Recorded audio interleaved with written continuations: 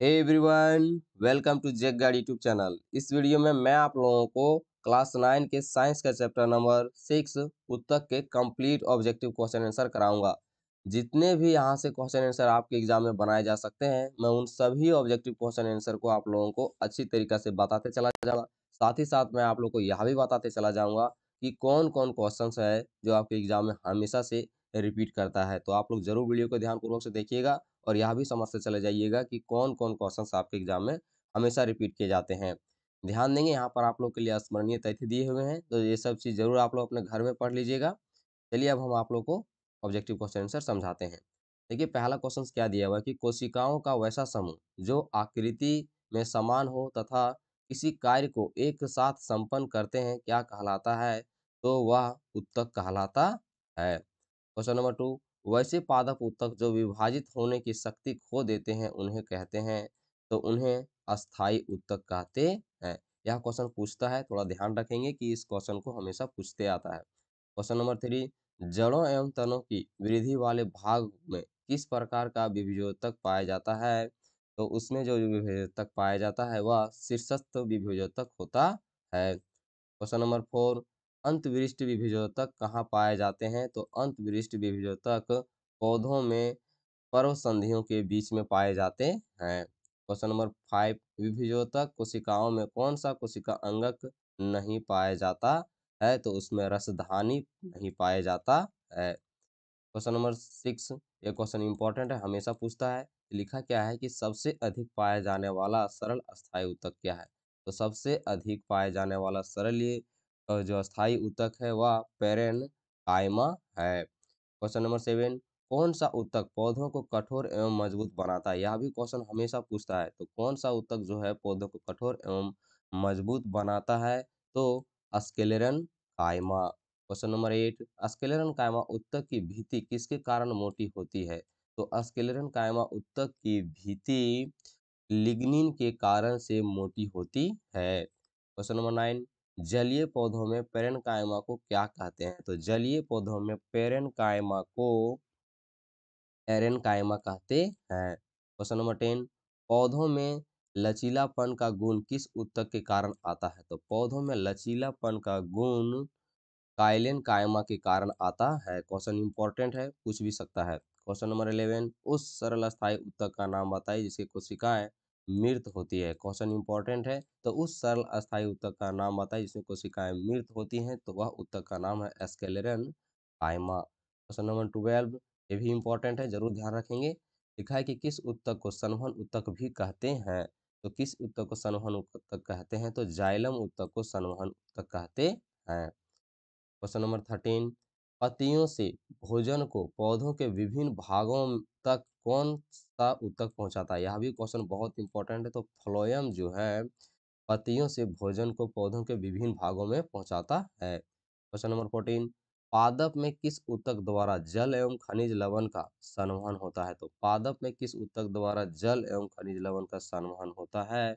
तो वह होता है जाइलम के द्वारा। ठीक है? ज़रूर याद रखेंगे आप लोग। क्वेश्चन नंबर फिफ्टीन देखिए क्या दिया हुआ है कि पक्षमापी स्तंभकार एपिथिलियम कहाँ पाए जाते हैं? तो पक्षमाभी स्तंभकार एपिथीलियम श्वास नली में पाए जाते हैं।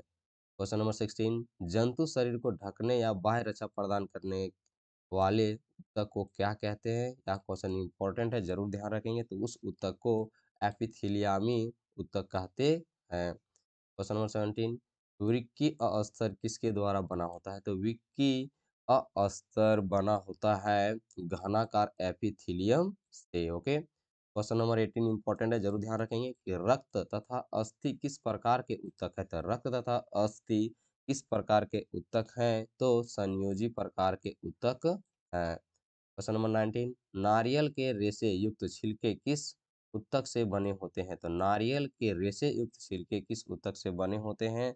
तो वह उत्तक एस्केलर कायमा से बने हुए होते हैं। क्वेश्चन इंपॉर्टेंट है, पूछ भी सकता है। क्वेश्चन नंबर ट्वेंटी भी इंपॉर्टेंट है कि दो अस्थियों को आपस में जोड़ने वाले उस उत्तक को उत्तक को क्या कहते हैं? तो दो अस्थियों को आपस में जोड़ने वाले उत्तक को स्नायु उत्तक कहते हैं। क्वेश्चन नंबर ट्वेंटी वन, वह संयोजी ऊतक जो मांसपेशियों को अस्थियों से जोड़ता है, क्या कहलाता है? तो वह संयोजी ऊतक जो मांसपेशियों को अस्थियों से जोड़ता है, कहलाता है कंडरा okay? Question number twenty two, उस संयोजी ऊतक का नाम बताइए, जो नाक, कान, कंठ और श्वास नली में उपस्थित होते हैं।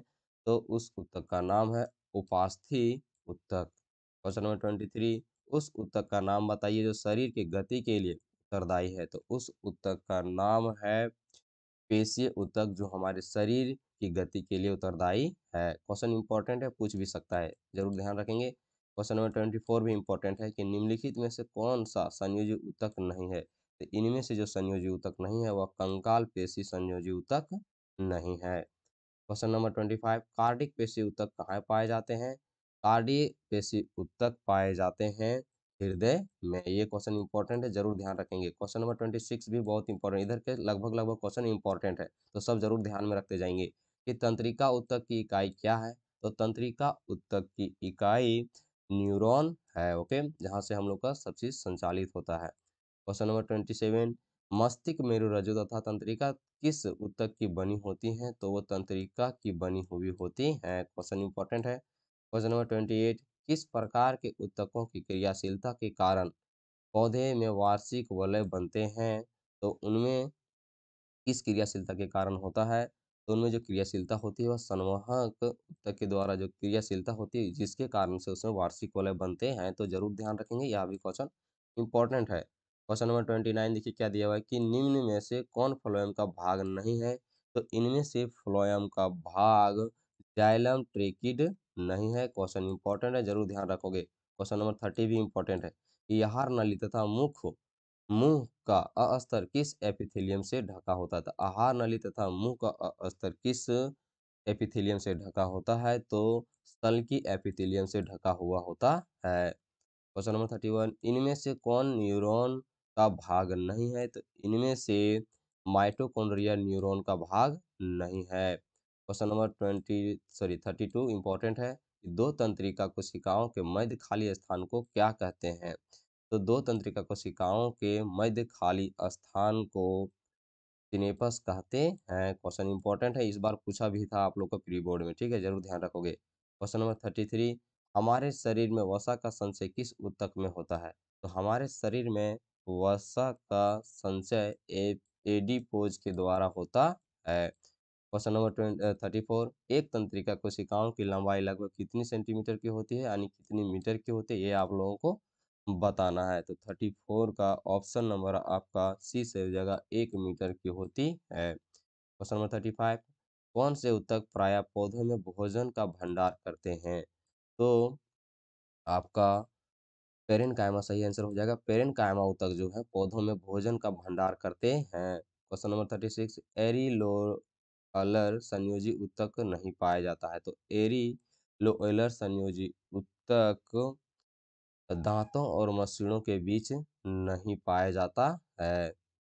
क्वेश्चन नंबर थर्टी सेवन, जानवरों में निम्नलिखित में से कौन सा उत्तक संकुचन और विश्राम से गुजरता है? तो जानवरों में निम्नलिखित में से कौन सा उत्तक संकुचन और विश्राम से गुजरता है? तो वह उत्तक का नाम है पेशी उत्तक okay? Question number thirty eight, निम्नलिखित में से कौन अरेखित पेशी उत्तक की विशेषता नहीं है? तो इनमें से अरेखित विशेषता नहीं है, वह है यह आकार में बेलनाकार होते हैं। क्वेश्चन नंबर थर्टी नाइन, निम्नलिखित में से कौन रेखीय पेशी का गुण नहीं है? तो निम्नलिखित में से रेखीय पेशी का गुण नहीं है, ये ये प्रकृति में अनिश्चित होते हैं, okay? Question number forty, cardiac पेशी की कोशिकाएँ कितने केंद्रकों की होती है? तो कार्डिक पेशी कोशिकाओं की केंद्रकों की जो संख्या होती है वह होती है आपका एक केंद्रीय होती है।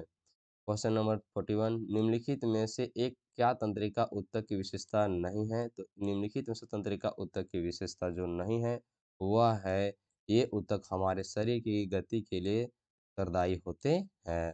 क्वेश्चन नंबर फोर्टी टू, निम्न में से कौन जंतु उत्तक नहीं है? तो इनमें से जो जंतु उत्तक नहीं है, वह है पेरेन फाइमा ओके, ज़रूर ध्यान रखेंगे।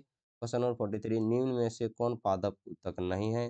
तो इनमें से जो पादप उत्तक नहीं है, वह है epithelium. Question number forty four, निम्नलिखित में से कौन एक सरल अस्थायी उत्तक है? यह क्वेश्चन इंपॉर्टेंट ज़रूर ध्यान रखोगे, ये पूछ भी सकता है। तो निम्नलिखित में से कौन एक सरल अस्थायी उत्तक है? तो आपका सरल अस्थायी उत्तक है एस्केलेन कायमा। क्वेश्चन नंबर फोर्टी फाइव, निम्न में से कौन विभेदक नहीं है? तो इनमें से जो विभेदक नहीं है, वह है पेरेन कायमा उत्तक, okay? Question number forty six, जहाँ अवशोषण एवं श्राव होता है, वहाँ कौन सी एपिथेलियम कोशिकाएँ मौजूद होती है? तो जहाँ अवशोषण एवं श्राव होता है, वहाँ कौन सी एपिथेलियम कोशिकाएँ मौजूद होती हैं? तो वहाँ पर स्तंभकार एपिथेलियम कोशिकाएँ मौजूद होती हैं। क्वेश्चन नंबर फोर्टी सेवन, निम्नलिखित में से कौन पेशीय उत्तक नहीं है? तो इनमें से जो पेशीय उत्तक नहीं है, वह है उपास्थि उत्तक क्वेश्चन नंबर फोर्टी एट उस पेशी उत्तक का नाम बताइए, जिनकी कोशिकाएँ लंबी, बेलनाकार शाखा रहित और बहुनाभिकार होती हैं। तो उस उत्तक का नाम है रेखित पेशी। क्वेश्चन नंबर फोर्टी नाइन, उस संयोजी उत्तक का नाम बताइए, जिसकी कोशिकाएँ वसा की गोलिकाओं में भरी होती है, यानी गोलिकाओं से भरी होती है तो उस उत्तक का नाम है वसामय उत्तक ओके? क्वेश्चन नंबर फिफ्टी, देखिए क्या दिया हुआ आपका? कि लाल रक्त कण, सवेत रक्त कण, प्लेटलेट्स आदि किस जंतु उत्तक में पाए जाते हैं? तो वह रक्त उत्तक में पाए जाते हैं। यह क्वेश्चन बहुत इंपॉर्टेंट है, आप ज़रूर ध्यान रखेंगे। अगर आप लोगों को वीडियो इंफॉर्मेटिव लगा है तो ज़रूर आप लोग चैनल को सब्सक्राइब करके जाएँगे और वीडियो को लाइक करके।